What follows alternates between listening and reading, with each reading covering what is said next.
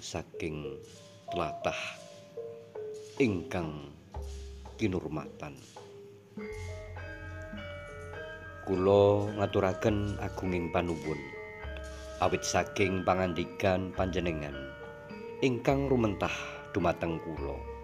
Sedaya pangandika panjenengan saged kula tampi kanthi cetha pramila ingkang sepisan paringipun salam takzim saking bapa.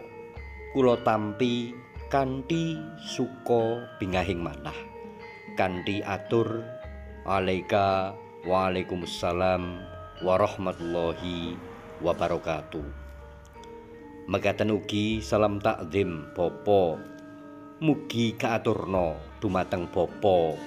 Sakula warga ing tlatah wontene Bapa kagungan krentek badhe hamu puyoga. Kepareng mundut mantu dumateng anak kula. Minangka jatuh kramanipun bagus. Kula namung jumuring ing karsa. Jer lare kekalih sampun jumagar ing kadewasan.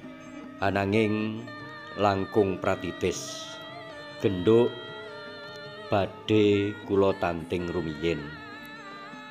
Pripun nduk purun nampi lamaranipun bagus.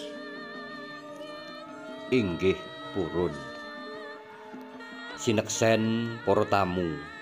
Kados genduk inggih sampun rila hananggapi katresnanipun bagus.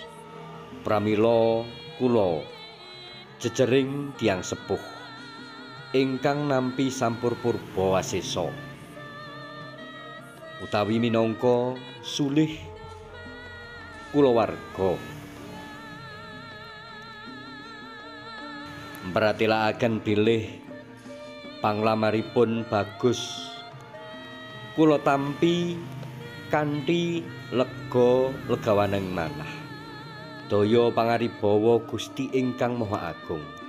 Saged hangijabahi sedya tama nyawijakaken balung apisah. Lumantar jejodohan lare kekalih. Saged kacunggah ingkang kaangkah.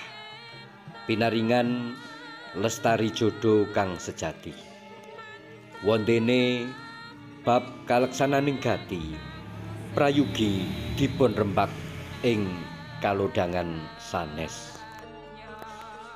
Megaten atur kula kathah kelepatan saha kekirangan.